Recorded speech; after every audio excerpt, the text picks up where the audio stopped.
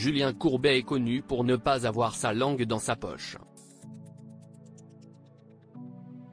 Une réputation à laquelle il a une nouvelle fois fait honneur ce matin, vendredi 17 mars, dans son émission quotidienne intitulée Ça peut vous arriver diffusée en direct sur la chaîne M6 et retransmise à la radio sur les ondes de RTL.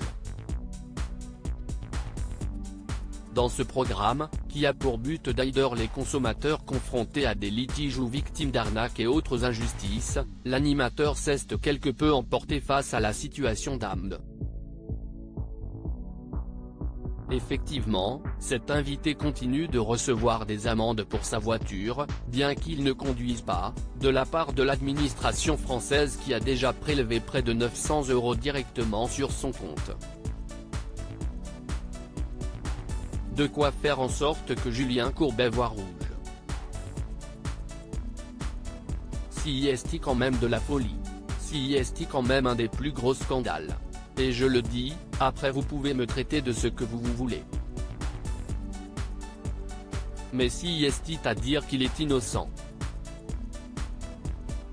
Il a été déposé plainte, mais la machine administrative vient le saisir. Il est obligé de venir sur ce plateau pour se faire entendre, si est quand même complètement fou, s'est-il emporté dans cette séquence à découvrir ci-dessus? Vous allez voir ce qu'il va vous arriver. Amusez-vous, vous, de votre côté, à ne pas payer les impôts ou quoi, vous allez voir ce qu'il va vous arriver.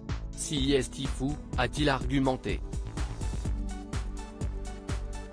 Vous imaginez le ridicule. On est en France, on est en 2023 et voilà ce qui se passe.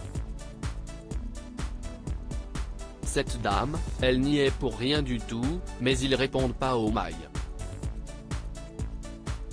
Tout le monde s'en fout. On le prélève, si est pas ta voiture et lui le pauvre 900 euros. A-t-il continué, avant de détendre l'atmosphère avec quelques blagues. Le présentateur, par ailleurs mari d'une certaine Catherine, a ensuite questionné son invité, lui demandant combien de temps il pourrait encore tenir à coup de 900 euros comme ça. Ce à quoi Ahmed a rétorqué, jusqu'à. Je ne sais pas. Après même s'ils n'arrivent pas sur mon compte, ils vont me les prélever directement à la source, avec mon employeur. Reste maintenant à voir si ce problème pourra être résolu dans les plus brefs délais.